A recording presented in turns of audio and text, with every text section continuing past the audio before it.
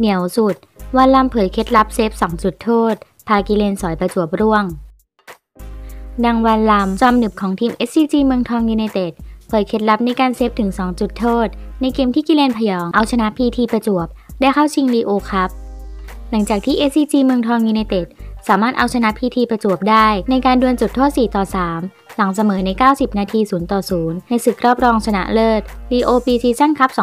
2020 มื่อวันที่ 30 มกราคมที่ผ่านมา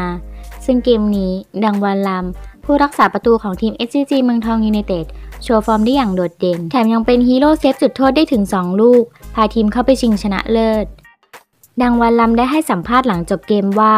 เรายังเหลือเวลาอีกประมาณ 2 สัปดาห์ ก่อนไทยลีกจะเริ่มต้นขึ้น ซึ่งการที่มี pre-season แบบนี้ มันเป็นเรื่องที่ดีมากๆครับ ส่วน 3 แมตช์ที่ผ่านมานั้น แน่นอนว่าเราก็ต้องปรับตัวเยอะ แต่เป็นเรื่องที่ดีที่เราเอาชนะมาได้ทั้ง 3 แมตช์ เพราะว่าฤดูกาลนี้เรามีทั้งผู้เล่นใหม่ ทั้งนักเตะดาวรุ่ง เพราะฉะนั้นเราเองก็ยังมีเวลาในการปรับตัว แต่โชคดีที่เราสามารถเอาชนะมาได้เรื่อยๆ สิ่งสำคัญที่สุดคือทีมชนะในวันนี้ แต่ก็รู้สึกดีใจที่มีส่วนร่วม ช่วยให้ทีมชนะในเกมนี้ด้วย เกมยังเหลืออีกแมตช์หนึ่งด้วย มันดีมากๆครับถ้าผมจะได้ถ้วยแรกกับสโมสร ที่ผ่านมาทำงานกับโค้ชคนใหม่มาโดยตลอด ก็ได้ทั้งเทคนิครวมไปถึงวิธีการต่างๆ ที่ทำให้ช่วยในการเซฟของวันนี้ แต่สิ่งสำคัญ คือเราได้เตรียมตัวไปเล่นในไทยลีกต่อ แน่นอนว่ารู้สึกดี ที่แฟนบอลทุกคนให้กำลังใจ